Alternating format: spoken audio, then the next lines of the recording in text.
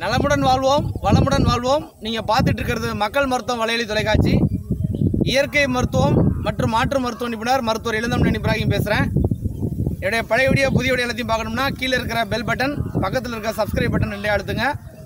Facebook வாட்ஸ்அப்பில் மற்றவங்களுக்கு share பண்ணுங்கள் நம்முடைய பாரம்பரிய மருத்துவத்தை கடைக்கோடி மக்களுக்கும் சேர்க்கறதுக்காக செய்யப்படுற சேனல் அதனால் உங்களுடைய ஆதரவு எனக்கு தொடர்ந்து கொடுங்க.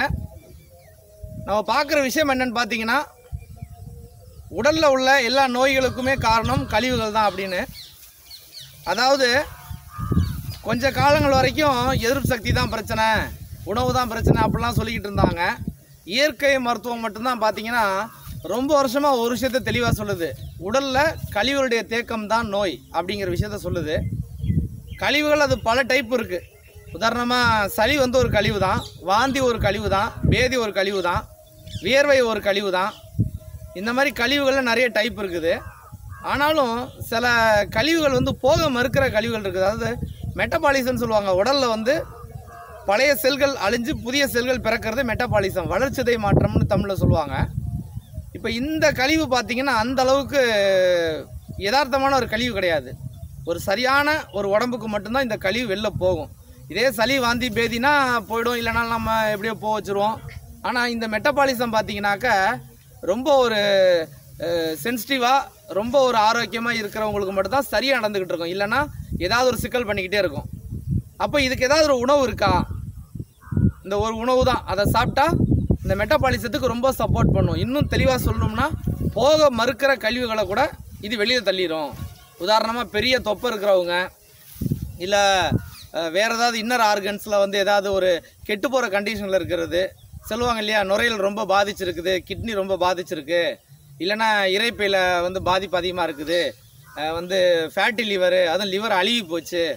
அப்பண்டிஸில் ப்ராப்ளம் இருக்குது அங்கே போய் நிறையா வைரஸ் பாக்டீரியா தங்கிடுச்சு இந்த மாதிரிலாம் சொல்கிறாங்க இல்லையா இந்த மாதிரி போக மறுக்கிற அந்த செல்களை அந்த கழிவுகளை கூட அனுப்புறதுக்குன்னு ஒரே ஒரு பழம். அது என்னன்னு பார்த்தீங்கன்னா கமலா ஆரஞ்சுன்னு பேர் அது பேர். அதுதான் வந்து நம்ம நாட்டுடைய ஒரு பூர்வீக ஆரஞ்சு பழம்.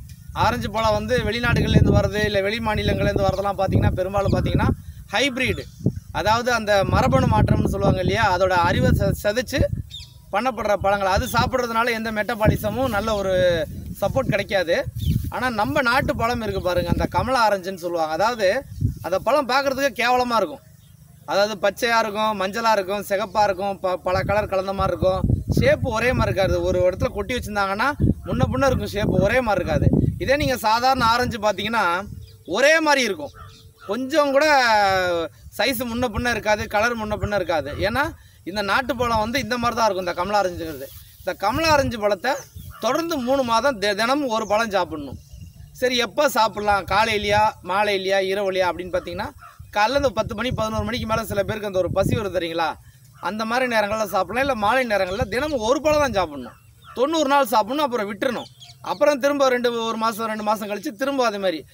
தொடர்ச்சியாக ஒரு பழம் சாப்பிடக்கூடாது. நான் கமலா ஆரஞ்சுன்றதுக்காக சொல்லலை. எந்த ஒரு பழமும் சரி வாழைப்பழமோ ஆப்பிளோ இல்லை மாதுளையோ எந்த ஒரு பழமும் டெய்லி ஒரே பழத்தை சாப்பிடக்கூடாது. உணவுகளை மாற்றி மாற்றி சாப்பிடணும். அதே மாதிரி பழங்களையும் மாற்றி மாற்றி சாப்பிடணும். ஏன்னா ஒரு பழத்தில் இருக்கிற சத்துக்கள் வந்து இன்னொரு பழத்தில் இல்லாமல் இருக்கலாம். அப்போ அதை மாற்றி மாற்றி மாற்றி மாற்றி நம்ம சாப்பிடும்போது இதில் இல்லாதது அதில் கிடைக்கும் அதில் இல்லாதது இன்னொரு பழத்தில் கிடைக்கும் அந்த மாதிரி. ஆனால் இந்த கமலா ஆரஞ்சு பழம் மட்டும் நீங்கள் இந்த மாதிரி மொத்தம் தொண்ணூறு நாட்கள் கணக்கு பண்ணிக்கணும். டெய்லி ஒரு பழம் தான் சாப்பிடணும். வெறும் வயிற்றுல சாப்பிடணும். சாப்பிட்டு சாப்பிடக்கூடாது. காலை உணவு ஒரு எட்டு மணிக்கு சாப்பிட்றீங்கன்னா ஒரு பதினோரு மணி போல் கொஞ்சம் வயிறு ஒரு எம்டியாக இருக்க மாதிரி இருக்கும் இல்லையா? ஒரு பசி வர மாதிரி கூட ஃபீல் ஆகும். சிலர் காஃபி டீலாம் குடிப்பாங்க. அந்த நேரத்தில் அந்த சின்ன கமலா ஆரஞ்சு பழம் ஒன்றே ஒன்று ஜூஸ்லாம் அப்படி சாப்பிடக்கூடாது. தோலை எடுத்துட்டு கழுவிட்டு நல்லா அந்த விதைகள்லாம் எடுத்துகிட்டு நல்லா மென்று சாப்பிட்ணும். விதைகளே மென்று சாப்பிட்டால் நல்லது ஆனால் அது கசக்கும். அதனால் எடுத்து போட்டு சாப்பிட்றது ரொம்ப நல்லது. சக்கைகளை நீங்கள் வெளில துப்பிடலாம். கொஞ்சம் கசப்பாக தான் இருக்கும்.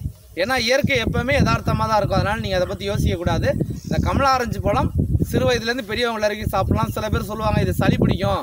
இது பனி காலங்கள்லாம் மழை காலங்களில் சாப்பிடக்கூடாது அப்படின்னு. அப்படிலாம் கிடையாது. எ எப்போனாலும் சாப்பிட்லாம். என்னன்னா கறிமீன் சாப்பிடும்போது நம்ம யோசிக்கிறது கிடையாது. மருந்து மாத்திரை சாப்பிடும்போது யோசிக்க கிடையாது. சீசனில் இந்த மாதிரி சாப்பிடலாமான்னு. ஆனால் ஒரு தப்பான விஷயத்தை செய்யும்போது நம்ம வந்து இந்த மாதிரி யோசிக்கிறது கிடையாது. ஆனால் நல்ல ஒரு உணவு சாப்பிடும்போது இந்த அளவுக்கு யோசிப்போம். கேட்டது அவங்க சொன்னாங்க இவங்க சொன்னாங்க அந்த சேனலில் சொன்னாங்க. அதெல்லாம் யோசிக்காதீங்க. சளி பிடிச்சா பிடிக்கட்டும். சும்மா ஒரு நாள் ரெண்டு நாள் பிடிக்க அப்புறம் சரியாயிரும். அதனால் சிறு வயதுலேருந்து குழந்தைங்களுக்கு வந்து இந்த நாட்டு கமலா ஆரஞ்சு கொடுத்து பழக்குங்க நாட்டு கமலா ஆரஞ்சுங்கிறது கேளுங்க. சில நேரங்களில் சீசனில் தான் சில ஊர்களில் கிடைக்கும். சில ஊர்களில் வந்து ரெகுலராகவே கிடைக்கும். ஆப்பிரிக்காலேருந்து ஒரு வியூவர் என்னுடைய சேனல் பார்க்குற ஒரு வியூவர் ஒரு பெண்மணி ஒருத்தவங்க அவங்க வந்து கிடைக்காதுன்னு சொல்லிட்டு கடைசியில் ஆஃப்ரிக்காவில் நிறைய இடங்களில் கிடைக்குது எங்களுக்கு. அவங்களுக்கு வந்து மார்பக புற்றுநோய் சம்மந்தப்பட்ட விஷயம். அதுக்காக அவங்க முயற்சி பண்ணும்போது நான் சாப்பிட்டே எனக்கு அந்த மார்பு கனமான கனமெல்லாம் குறைஞ்சிருச்சு. அந்த பெயின்லாம் இல்லை நான் வந்து பயந்துக்கிட்டு இருந்தேன். ரொம்ப மாற்றம் நல்லா இருக்குது சார் அப்படின்லாம் சொன்னாங்க. அந்த மாதிரி இது மட்டும் இல்லை இது மாதிரி நிறைய பேர் நான் உதாரணத்துக்கு எதுக்கு நான் இப்போ இந்த மார்பக புற்றுநோய்னு சொல்கிறேன்னா இவ்வளோ பெரிய விஷயத்துக்கே சப்போர்ட் பண்ணும்போது சாதாரணமான நம்ம உடம்புல இருக்க நல்ல அந்த வளர்ச்சி மாற்றத்துக்கு சப் கண்டிப்பாக சப்போர்ட் பண்ணும். ஏன்னா இயற்கை எப்போயுமே நமக்கு உறுதுணையாக தான் இருக்கும். அதனால் பயப்பட வேண்டாம். என்னோடய வீடியோ உங்களுக்கு கண்டிப்பாக பிடிச்சிருக்கு நம்புகிறேன் கீழே இருக்கிற பெல் பட்டன் பக்கத்தில் இருக்க சப்ஸ்கிரைப் பட்டன் ரெண்டையும் அழுத்துங்க. ஃபேஸ்புக் வாட்ஸ்அப்பில் மற்றவங்களுக்கு ஷேர் பண்ணுங்கள்